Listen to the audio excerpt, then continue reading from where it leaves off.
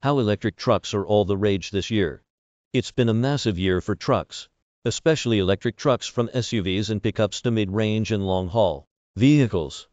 Let's look at some of the news of 2021 and what it means for the year ahead. Rivian raised a massive $11.9 billion in its initial public offering. However, Rivian's November trading experiences were less than stellar. And the issue of getting trucks manufactured and to customers remains a pain point. We not only need a truckload of battery innovation but adequate access to trucking chargers as well. These include high power wireless charging placed strategically for creating a fleets that can run at a virtual perpetual state of charge and support 24/7 continuous operations.